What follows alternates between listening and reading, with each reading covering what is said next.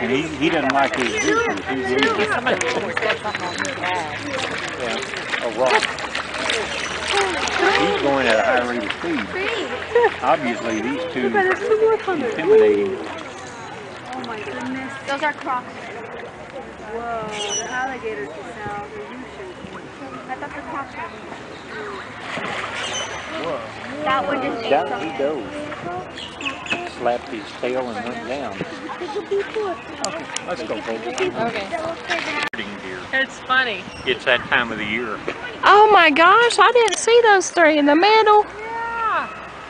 He's talking to the girls.